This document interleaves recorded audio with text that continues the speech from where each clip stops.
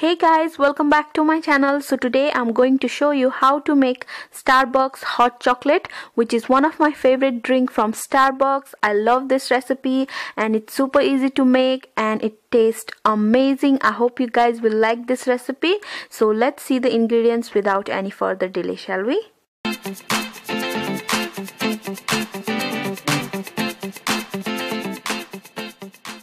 First of all, we are going to add milk, vanilla and sugar into a microwave safe cup and microwave it for 1 minute or until it's warm.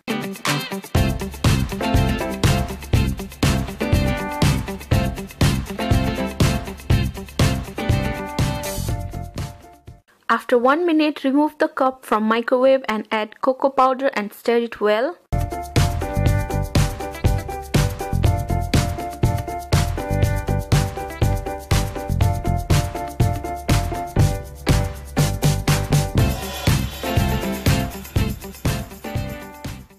Once the cocoa powder is fully dissolved, heat it for 60 seconds or until it's hot.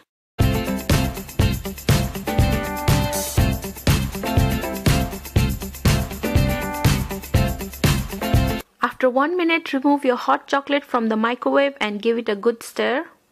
And finally our delicious hot chocolate is ready to be served. You can add whipped cream and cocoa powder on top but I prefer mine without whipped cream. I hope you guys enjoyed this recipe.